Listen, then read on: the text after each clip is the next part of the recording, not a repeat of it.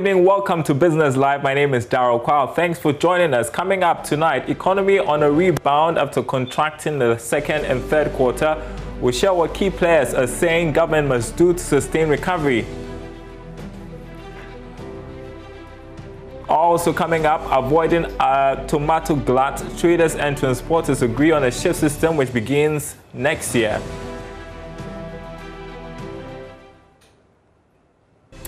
And if you're planning to shop for food items this weekend for Christmas, expect prices to be on the higher side.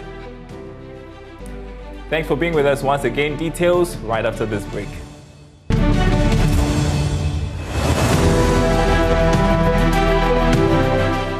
Welcome back. We are going to be talking a lot about the state of our economy, uh, where we are at right now, and what to look forward to. Beginning with the Bank of Ghana, uh, which believes the economy is on a rebound consistent with this recent available data. According to the governor of the central bank, Dr. Ernest Addison, there is evidence of some green shoots in economic activity gleaned from surveys on consumer confidence, which has bounced back to pre-lockdown levels. At the same time, business confidence is also improved, although the index remains below pre-lockdown levels. He disclosed this at the University of Ghana alumni lecture first half of 2020 showed that the global economy experienced a sharp contraction due to restrictions imposed to contain the spread of the COVID-19 pandemic. However, survey data into the third quarter of the year points to signs of recovery, driven by the easing of restrictions and the decisive monetary and fiscal policy support. The recovery is expected to be gradual and uneven in view of the cautious behavior of both households and firms. Also, the COVID-19 containment measures vary across countries, and the recoveries will reflect these variations. Despite these early encouraging signs of recovery, the outlook for the global economy remains highly uncertain, with COVID-19 infections continuing to increase as countries ease restrictions, sparking fears of a second and even third wave of infections, requiring reimposition of restrictions and leading to further slowdown in the world economy. The recent resurgence of the pandemic in the United States and parts of Europe leads credence to the uncertain path of the pandemic in the near term. Also, events related to the spread of the COVID-19 pandemic are still evolving and there is considerable uncertainty about the duration of the spread and how quickly countries will recover. The IMF forecasts that global growth will contract by 4.4% in 2020. If this materializes, the COVID-19 pandemic may possibly become one of the most economically costly pandemics in recent history. This notwithstanding, the recent announcement of coronavirus vaccines with more than 90% efficacy and the subsequent approval to administer these vaccines in the United Kingdom and other advanced economies has fueled optimism and restored some hope about a return to normalcy in the near term. Meanwhile, Governor of the Central Bank, Dr. Ernest Addison, is calling for tough decisions to be taken to reorganize public finances and expenditure priorities whilst exploring more sustainable revenue sources to improve the fiscal economy. Public debt levels have risen following the necessary fiscal expansion in the short term to contain the impact of the pandemic. Hence, there is a need to design a plan to bring down the debt to sustainable levels, to contain risks posed to future financing of the budget, exchange rate stability, and financial stability. This framework should include a clear priority towards expenditure rationalization and efficiency, as well as improving revenue collection capacity. Ghana's public debt has reached 71% of estimated GDP at the end of September 2020, fairly above the maximum early warning sustainability threshold of 70% for market access countries. The country's debt service indicators and gross financing needs have also breached sustainability thresholds.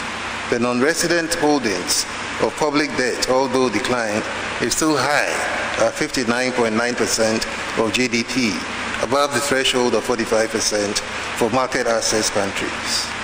Public gross financing needs are also above the 10% market access country threshold on the back of increased fiscal obligations, suggesting constrained fiscal space for growth spending.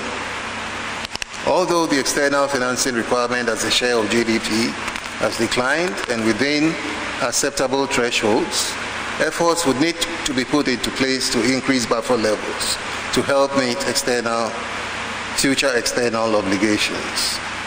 In ensuring financial stability, the financial sector will require constant regulatory and policy attention to identify and mitigate emerging risks.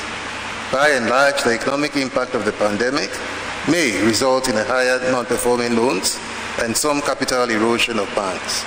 Hence, the bank is putting greater focus on identifying the early warning signals and initiating prompt corrective actions. The symptoms of a weaker bank are usually poor asset quality, the lack of profitability, the loss of capital, excessive leverage, excessive risk exposure, and poor governance conduct as well as liquidity concerns. In this respect, the Bank of Ghana will continue to strengthen all the regulatory measures implemented over the last three and a half years to maintain confidence and safeguard financial stability. Well, we'll still stay with the University of Ghana alumni lecture because the Vice Chancellor, Professor Ebenezer Oduro-Owusu, has commended government for effectively managing the economy. According to him, the prudent management of the economy, despite the ravages caused by the COVID-19 pandemic, is highly commendable. Government's prudent management of the pandemic and its effects on the citizenry is highly commendable. This is evident in the low infection and death rate and high recovery rates. The director of Noguchi is here. If I give him chance, I think he can lecture us the whole day on this. The potential risk going forward is fiscal challenges, that is deficit. As a result of a slowdown of domestic revenue and high expenditure from the management of the pandemic. And undoubtedly, this is likely to translate into rising debt stock. And this is what the governor is trying to battle with. Prudent fiscal management on the part of government here is extremely crucial, particularly in the year 2021, to forestall any dangerous economic slippages that could erode all the economic gains made so far as a nation. And I think he made it clear that all the economic gains for the past three years have been eroded. So now we have to set ourselves on the road to recovery. So in all, individuals, households, and businesses must learn from the pandemic and know that withholding unproductive consumption expenditure in favor of future in the form of savings is the best insurance against such unforeseen circumstances. I guess uh, the question then is how do we sustain this recovery? Well, government statistician uh, Samuel Kobina Annim is pushing for some targeted policies by government to fast-track the much talked about economic recovery.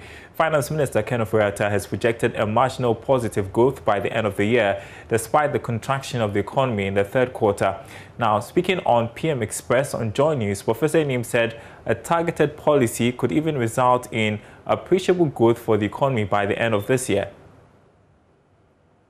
statistician, we are circumspect in predicting based on these things. And I like the way my two colleagues have articulated their point. Essentially, it depends on the interventions that have been put in place and the sectors that are receiving those interventions. And one is not too sure how people are going to react to the elections that we've just gone through and the festive period that is um, ahead of us. Mm. January, it's always, um, sorry, December is always mm. a tricky month because it's a festive period and one expects spending to go up. Mm. But given the elections, one would have to be careful in saying that it will follow the trends during a non-election year. So again, I wouldn't put my head out and say that we're going to get out of um, the contraction in the second, in the last quarter of 2020, but all depends on the interventions that will be instituted. If, if again, I, I, I ask myself, is it about the waiting? Because agric sector did quite well, uh, but it looks like it was not strong enough to offset to still push the economy up. Yes, it's, it's it's it's essentially about the weighting. And again, if you look at it just from the numbers point of view, we saw 16 subsectors that expanded in the period um, quarter three 2020 and only four subsectors contracted, and these were one would call the movers of our GDP. The, the subsectors that contracted were hotels and restaurants. That is not really a heavyweight, but the two subsectors that I would our tag as heavyweights are mining and quarrying, which contracted by 16.9%, but the share of GDP is 13.9%. So mining and quarrying alone is taking for, close to 14% of our total GDP. And the other sector that we call um, a mover of the GDP is the trade repair of vehicles and household goods. That also contracted by 7.7%, and its share of GDP is 11.4%. So, taking just these two sectors, we are talking about a fifth in terms of share of GDP, of our total GDP. So, irrespective of what happens in the other um, 18 subsectors, these two sectors would continue to determine what happens to our GDP growth rate. And do you think that we should look at uh, uh a policy well targeted policy? Because some have complained about jobless growth. We are growing all right. What policy direction what sector should be targeted in our quest to uh, fast track the recovery? Because some are saying that, bro, I mean, even with the little intervention of government, we've seen the contraction uh, slow a little bit. If we could have done more, maybe uh, we could have been getting out of this even Q3. George, you are absolutely right. What we need to do as a country is to do targeting intervention. As um, my colleague spoke, Dr. Ankrah articulated the various interventions. What I did ask myself is, even within the ICT sector, what are you going to concentrate on? Mm. It's about time we begin to look at very detailed level interventions rather than broad interventions. Professor Annim, uh, the government statistician, also cautioned against the projection that the economy will go into full recession by the end of the year. Data from the Ghana Statistical Service uh, shows that the economy has contracted for the second consecutive time, as we've been reporting. Now, some analysts forecast that the country could end the year with negative growth, but Professor Annim said it's too early to reach that conclusion respond to this from two-time perspective, and this is what we need to be mindful of once we're having a discussion around recession. So as, I, as I indicated, the computation of GDP is done from a time perspective is done at two levels. One is to look at it on a quarterly basis, and the other is to look at it on an, on an annual basis. Currently, we've released three quarters of 2020. The first quarter of 2020 puts our growth rate as 4.9%. And subsequently, in the second quarter, there was a contraction of 3.2%. And in the third quarter, we've seen another contraction of 1.1%. We have collected data, or we are in the process of collecting data for the last quarter of 2020, and we have some data for October and November already. So I'll be hesitant in drawing a conclusion that if we are doing the annual GDP for 2020, at this point in time, one can conclusively say that on an annual basis, we are in recession. But clearly, from a quarterly point of view, that is comparing um, 20, 2019 quarter two with 2020 quarter two, and also comparing 2020 quarter three with 2019 quarter three. On both counts, we see that the economy has contracted. If you look at it on a quarter on quarter basis, that is looking at the period that is the second quarter of 2020, the period between March and June 2020, we saw a contraction of 0.8%. And also for the period July to September 2020, we've seen another contraction of 0.3. So from both a quarter on quarter basis and quarter year on year basis, we've seen that the economy has contracted. Mm. But then, as I indicated for emphasis, for the whole 2020 to be declared as a recession for the country, one has to be circumspect. Hear next from economist Professor Godfrey Bokpin, who believes Ghana is doing far better than many other African countries. When you look at it in relative terms, um, we haven't done badly at all. I think um, we can credit what we are seeing also to the mixture of monetary and fiscal policies that were quickly uh, deployed in response to the COVID 19 and therefore we will say that uh, we avoided the worst moments. But I think what we are seeing should not surprise us because um, um, we, we largely we expected this that uh, we were we were not um, immune from COVID, the effect of COVID-19, and practically that um, we entered COVID-19 with a bit of um, a weak immune system also because we had just come out of the energy crisis, ending 2015, and then we 2016-17 we walked into the financial sector crisis. We were just coming out of that, and then COVID hit. So you realize that the economy has gone through a, a, lot, and this is expected. I mean, we said before that um, we should not um, um, be hopeful that we're going to get a, a, a V-shaped recovery, that suddenly the economy will just um, rebound uh, to pre-pandemic level and that we are we, we, we, we, have a, a, long way to go in terms of um, the recovery. But of course, um, um, if you look at the, the various policies that have been put in place um, and then the effect of that in terms of the explicit formation of public debt, and it, it tells us that um, we have quite um, some challenge ahead of us. And, and also, you also have to look at the recovery. If you look at the, the subsectors that are contracting, very, very, very significant. Um, uh, but of course, you can also see agriculture and then ICT sector that is holding us uh, uh, uh, uh going forward. Meanwhile, President of the Africa Investment Group, Dr. Sam Ankrah, who spoke on the same program, also called for some stimulus package to help revive businesses that have collapsed as a result of the COVID-19 pandemic. There had been a sequence of events. We had gone through the energy crisis. We've gone to the financial sector cleaning. Um, and then all of a sudden, COVID from nowhere hits it. Mm.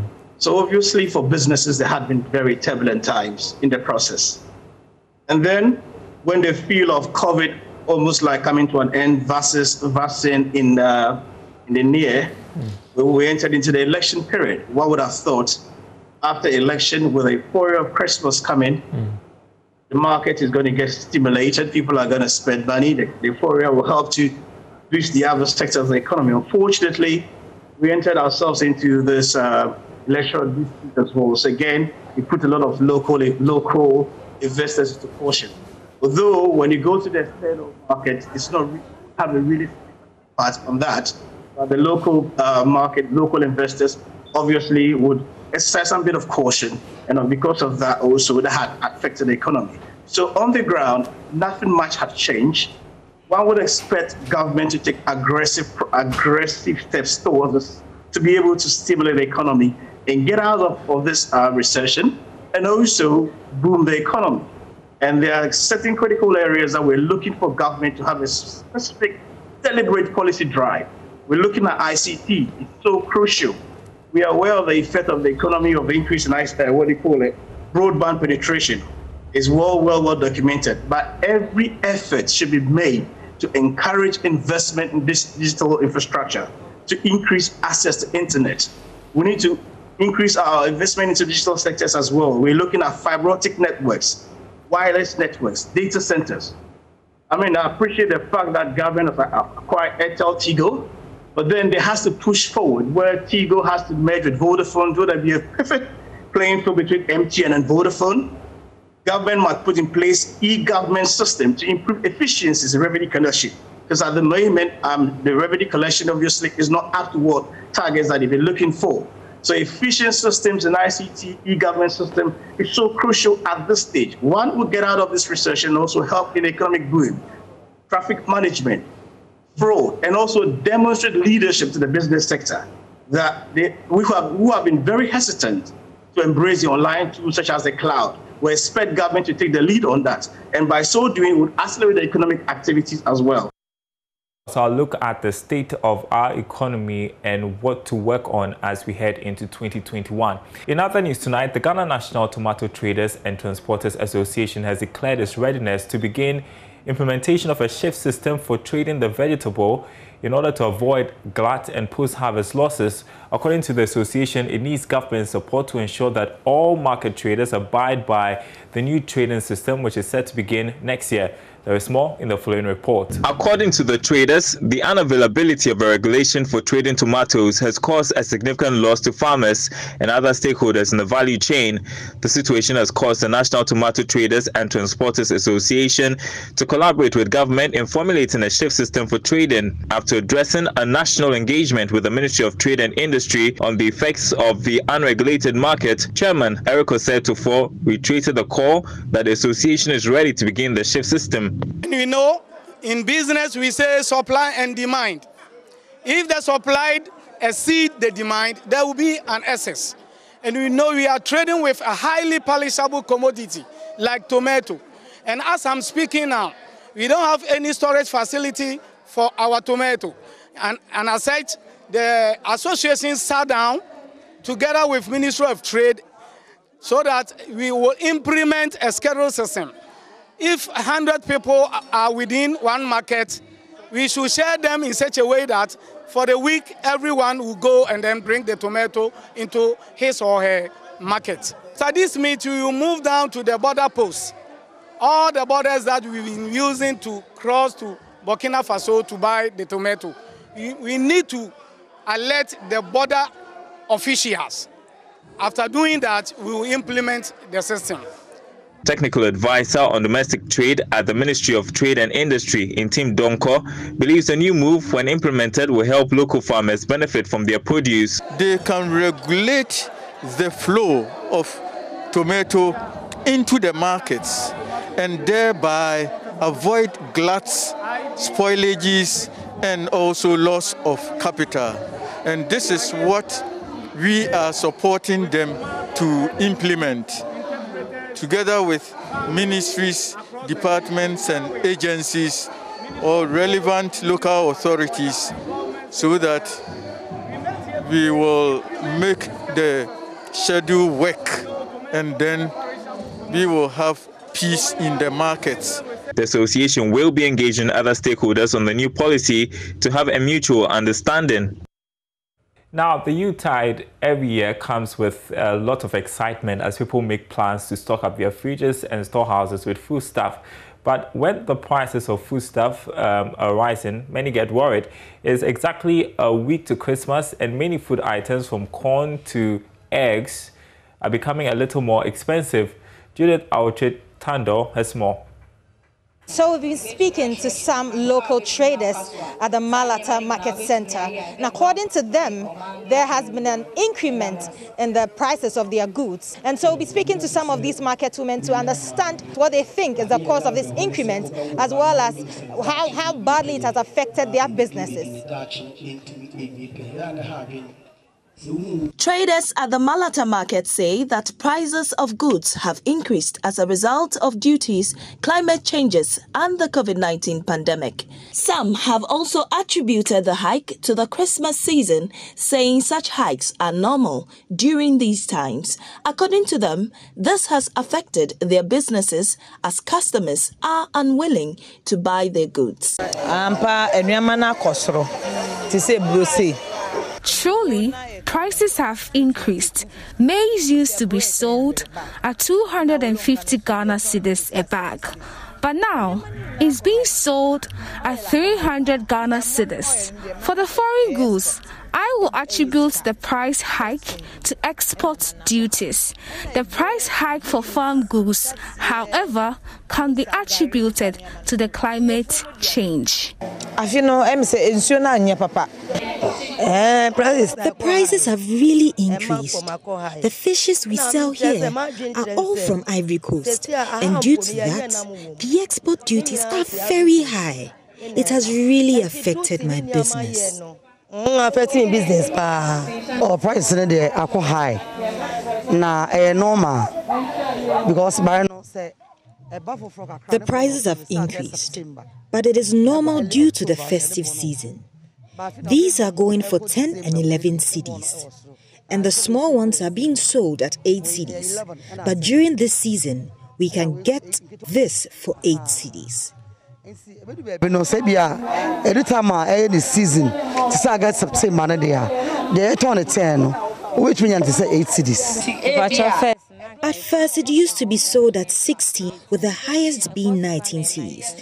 But now it's going for 22, 23, or 26 cedis. Contrary to the popular views, a local plantain seller at the market says her prices have rather gone low.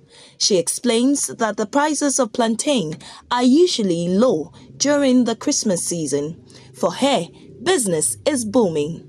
Oh,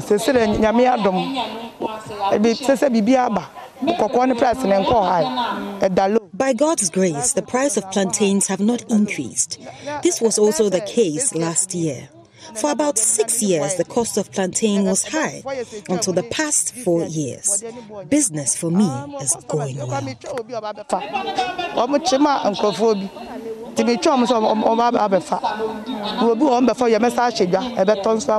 Judith Awatritando's report for Joy News. So if you're shopping this weekend uh, for the Christmas, you know what to expect. That's Business Live tonight. Thanks for watching. We leave you with our quick take for tonight.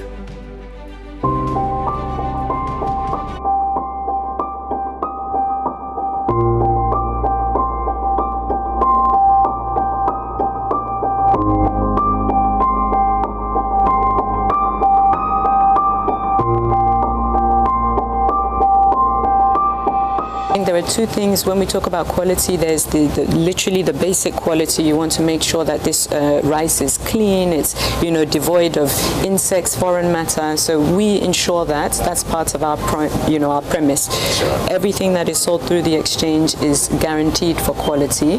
It means that it's certified by the Ghana Commodity Exchange. Before that, it's actually certified. Our warehouses are certified by the Ghana Standards Authority and by the Securities and Exchange Commission. They're licensed. So we, they make make that we, you know, stick to all of these rigorous procedures when it comes to quality. So anyone coming to buy through the exchange, that is our stamp of guarantee.